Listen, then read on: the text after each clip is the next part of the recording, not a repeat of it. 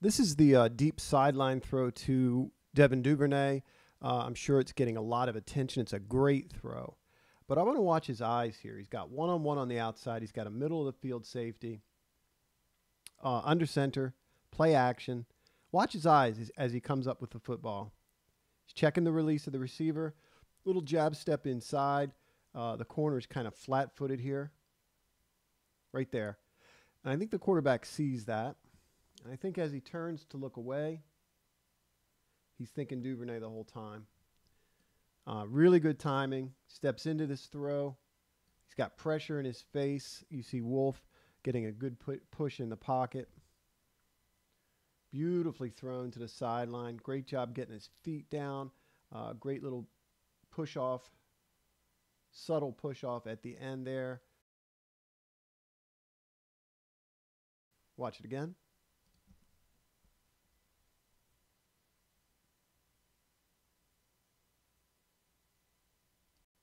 So, if you want to know how the passing game in terms of concepts might look different, this gives you a little peek. Um, empty set. They're going to run this tunnel screen into the boundary. Uh, really nicely set up. But if you look opposite, um, they're running a tunnel to this side too, with the outside receiver being the uh, uh, tunnel receiver, Duvernay. You see the center release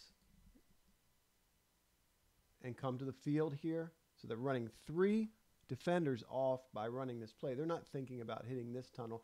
It's really about Watkins. He's good at this. Uh, it's interesting that the personnel, they've got uh, the back. I'm not sure if they motioned him there or not. Don't really have numbers until you have numbers when these two get out. Uh, and what's interesting too is, you know, you get six coming, so they catch them. You get the sense that the offense, these new uh, uh, pass game coordinators, receivers coach, have been studying the defense, and they're taking it to them here. Um, they're waiting on this pass rush. Perhaps this is a third down call.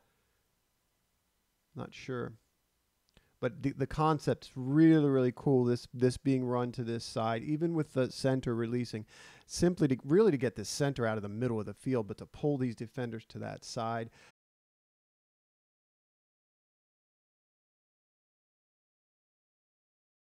There's a lot to see on this play as well. You see our, our man, Ar'darius, again locked up, this time on Tylan Wallace.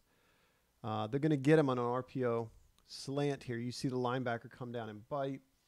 Uh, interesting, both the tackle and the guard are uncovered. Powers is going to pull. Um, Proche is in motion to that side.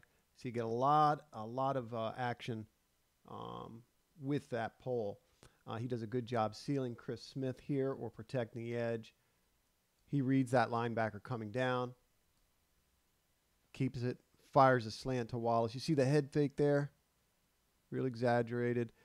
Uh, and um, he's blanketed, but he does a good job kind of boxing Ar'darius out here. And they pick up a few yards. Powers, I'm not sure why he's oversetting inside here. You see that? Um, he tended he tended to do this all afternoon or all evening.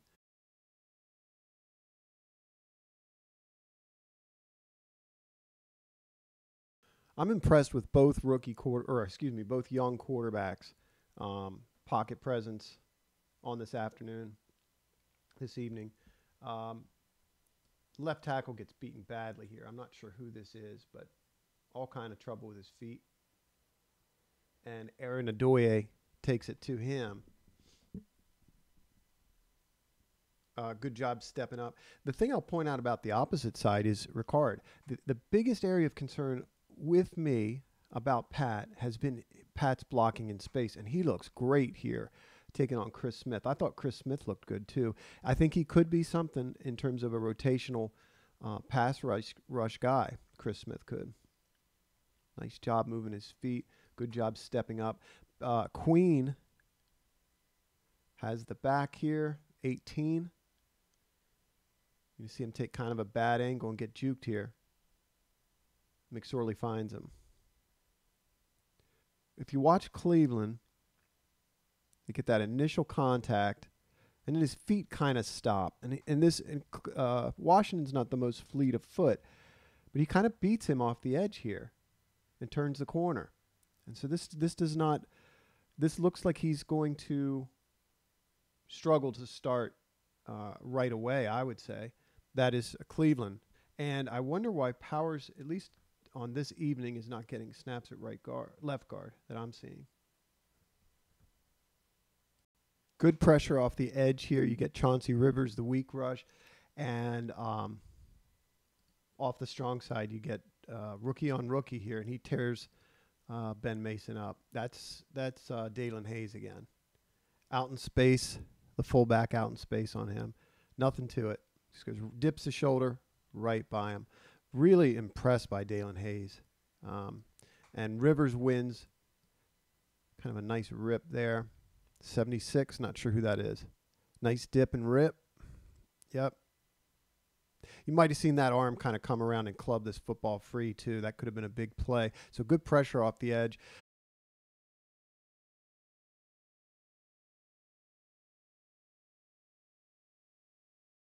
This is a throw made with great confidence and authority. Uh, great grab by Proche. He wins in slide. They hit him. Uh, if he's not tackled upon the reception, he might take this home. Um, they've got to be impressed with Proche. Interesting that he doesn't opt for this off coverage slant that they run with um, Duvernay. Uh, but I, I think it's intentional. The idea of Queen running all the way to the opposite side of the field, clearing the middle of the field, and um, Dobbins uh, in in, in uh, pursuit of Dobbins. So the eyes are part of that. I think, but I think all the while he wants to hit Proche here. Boy, he must have great confidence in his arm, but also Proche. I'm not sure what Mark's doing. What what's going on with this route?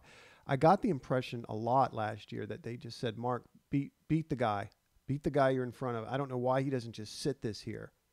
Um, so this throw is really cloudy almost because of Mark running there. And I'm not sure you know, this isn't some sort of option off the line where he said they just want him to beat Chuck Clark, but it, it almost runs right into the throw or runs the defender right into that throw.